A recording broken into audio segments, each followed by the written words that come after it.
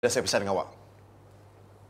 Jangan buat benda yang boleh berjumpakan awak dengan Yusman atau dekatkan diri awak dengan Yusman. Tak faham, faham. Saya minta maaf. Minta maaf, minta maaf. Sakit lagi aku dengar benda